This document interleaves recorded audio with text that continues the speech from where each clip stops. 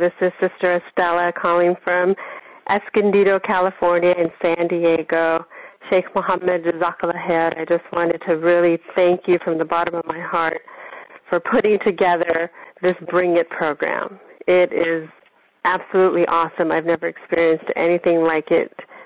Alhamdulillah, you have just enabled me to rejuvenate myself, to revive myself, to accelerate the process of the things that I want to do for others, for first and foremost for the sake of Allah subhanahu wa ta'ala. So jazakallah from the bottom of my heart.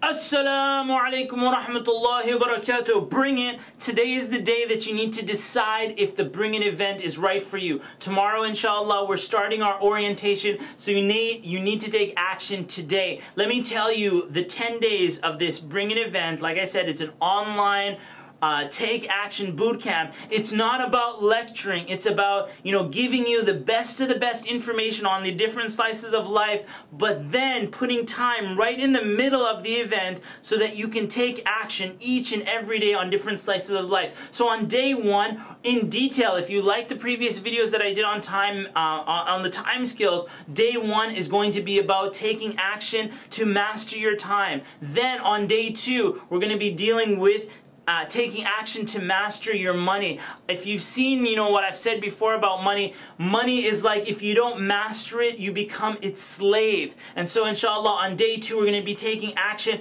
to really become the master of our money on day number two. On day number three, we're going to be dealing with children and family. So if a person doesn't have children, obviously dealing with family, one of the things that I love about day number three is when we're dealing with children. There are brothers and sisters on the, um, who attend the Bring It event, been married for a long time, haven't had children, and as you know, I, I there were many years that I didn't have children. We're going to be explaining in detail how to uh, how to solve that situation and really, you know, the emotional side of it and how to solve it and resources and so on. It's going to be an amazing and emotional day number three with the children and family. Day number four, we're going to be taking on the, the topic of marriage, i.e. if you're already married, how to make a love story marriage, and if you're not married, how to get married and how to take action for it. Alhamdulillah, there is good news. Last year, a brother during the Bring It event got married, alhamdulillah, and he shared and, you know, with the whole group that he got married, he took action. And so many other people, they might have felt that, you know what, I'll never get married, but during the Bring It event, they took action and they moved forward towards it, okay?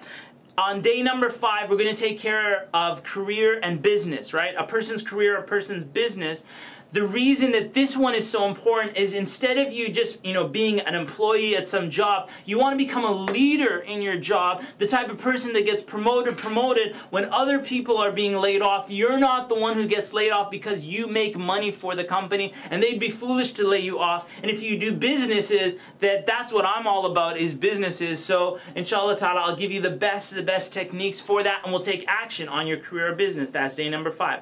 On day number six, we've got deen mastery. Because it's not just about taking care of the dunya, we also got to take care of the deen. I see a lot of people, they make these goals, you know, I want to memorize Quran, I want to do, you know, do this, do that. The memorization of the Quran is a big one for a lot of people, a big goal. And during the Bring It event, it's one of the most spectacular days because people actually take action. I show them how to get their goals done and take action on it so they actually achieve it, not just talk about it and then the next Ramadan comes along and then they haven't achieved anything. Does that sound like something good to you? You know it is, all right? That's uh, then we got day number seven. Day number seven is health right? Where we're taking care of our health and our vitality and taking action on that. This is a topic that a lot of people like to talk about. It's a huge industry, the health industry, but I've been around the block and back on the health industry and alhamdulillah, I'll give you some super amazing techniques that you don't find normally just in the mainstream and I'll show you what works, what doesn't, and then we're going to be taking action and solidifying action, not just action that is, you know, oh, I'm just going to drink something healthy for today. I'll show you how to take actions that will automate future success, inshallah ta'ala, so that three months from now, six months from now, you're still taking action because you chose something that automates into the future. So that's day number seven, health. Day number eight, the reason uh, day number eight is the day of fun where we master fun. You know as well as i do that if everybody had an extra day in their week that they would just keep working. They're not going to enjoy that day. And so people get stressed out and and they don't um, they get stressed out and they don't do anything with their life. They don't enjoy their life. So one of the cool things about day number eight in the bring it event is we actually go out and i tell people you know what? Remember when you were a little kid and you didn't have money to buy your favorite toy? Go and buy your favorite toy today and it's such a it's such a sweet event. There was a sister in Australia. She went and she purchased I don't know uh, I don't know if she got Wonder Woman or something like that. But she went she got a toy and yeah maybe she's not gonna play with it that much. But it's just that you know two dollar three dollar happiness and we start to train ourselves to seek out happiness as Allah subhanahu wa ta'ala says رَبَّنَا آتِنَا فِي الدُّنْيا حَسَنَةً وَفِي الْآخِرَةِ حَسَنَةً وَقِنَا عَذَابَ النَّارِ Or Lord, give us goodness in this life, goodness in the hereafter, and protect us from hellfire. And this is part of goodness in the life is these enjoyments and fun and actually mapping out a way to enjoy yourself and taking action on it. That's day number eight. Day number nine is mastering dawah, mastering the art of um, contribution and giving back. How many people in the Muslim community say they want to do this, say they want to do that, Ramadan comes along and Ramadan goes and they do jack. And you know as well as I do, they got all these ideas in their head, they do nothing about it. So day number eight is mastering the art of taking action on what we want to contribute. And, uh, and from my vast years of experience in this um, field of contribution and education and so on,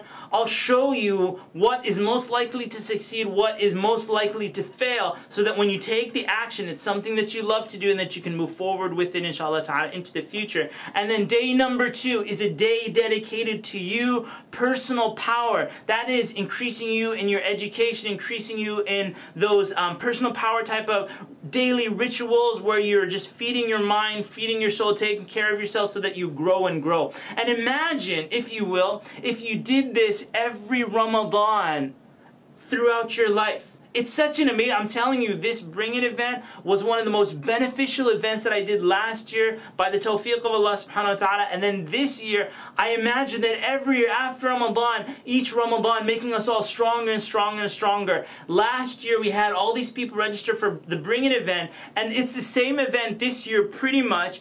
And the the majority of the people who registered last year paid again to register this year, subhanAllah. And that's just a testimony, to all of you know those uh, bring it registrants from last year. We're building a legacy here of Muslims taking action, serious, committed action in all these aspects of their life. And we want to make it a habit that every Ramadan we start taking action on it again and again and again. But I need your commitment. This is not the type of thing where it's just theoretical. I just post up a video and you're like, oh, that's nice. We need to create a community and that's what's happening in the Bring It event. And I want you to be part of it, inshallah ta'ala, wherever you are in the world. Press the register button, go to postramadan.com and register. Take decisive action now. The time has come to an end for you to decide. This is the end. And from here, we go in one direction. Either we move forward with the Bring It event or we go in our own direction. We're just sitting at home, spending the next 10 days doing jack or changing our life forever. And here the thing is, when the Bring event comes along and people take action, I always look back at the Bring. Would you regret taking action on these 10 slices of your life? Would you ever regret that? You're like, man, I wish I had never taken action on my marriage and my health and my finances and my, you know, my deen and my contribution. Wow, I, I wish I totally regret doing those things. No, you never regret it, right? And so the money that, that subhanAllah, you know, when you, when you look at this paper, and I give you this example, there was a, a Muslim scholar, and he was um, traveling in Russia and uh, somebody who was traveling with him, uh, one of my teachers, told me about this sheikh. Sheikh Yahya al-Yahya was the person. He, they had their bags in the hotel, and some of the students said, you know what, let's take it out of the hotel. Um, let's take these bags out of the hotel so that we can save on, on the cost and let's take our bags with us throughout the day until we go to a different hotel. So the sheikh said to, said to them that if money doesn't um, serve us at a time like this when we need it, then there's no benefit to money.